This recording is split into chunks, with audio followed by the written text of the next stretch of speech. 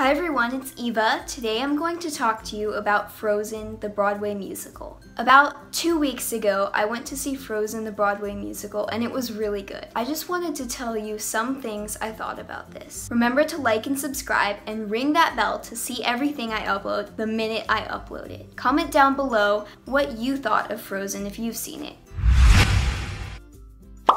First of all, I just wanted to talk about the actors in Frozen. So as you probably know, Caissie Levy plays Elsa. Sadly, I didn't get to see her, but I did get to see the standby, Alyssa Fox, and she was so good. She had an incredible voice and her acting was great. Patti Murin as Anna was really great. Her singing was so good, it was spot on. Her acting was so good. Her version of the character was so cool and interesting. And also, as young Anna and Elsa, I saw Zoe Glick and Mimi Ryder. They were really good, especially just for being kids, and their singing was so good. I also really enjoyed seeing Jelani Alladin as Kristoff, Greg Hildreth as Olaf, John Riddle as Hans, and the ensemble. I thought the addition of the ensemble singing more in For the First Time in Forever was a really good addition and it was really nice. One of the changes was something I didn't like though. I'm not so sure about what they did with the trolls because as you know, there are trolls in Frozen. They're important characters, but in this version there aren't trolls. Instead they're called the hidden folk. I thought this was strange and kind of silly honestly. I didn't like this change. It was a little weird in my opinion, but at least they still got to sing Fixer Upper.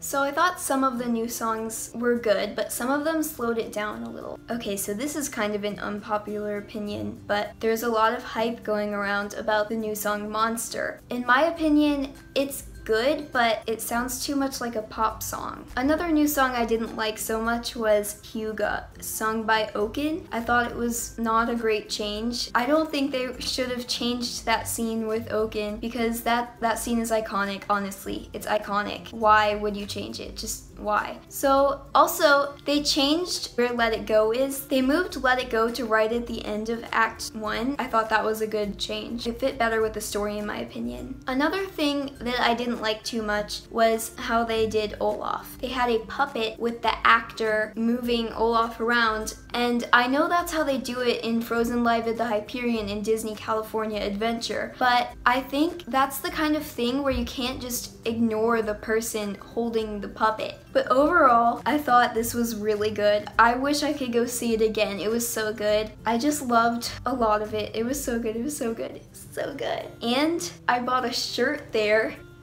So that's all I have to say about this. I'll see you in next week's video. Remember to like and subscribe. Comment down below what you thought of Frozen the Broadway musical. I'll see you next week. Bye!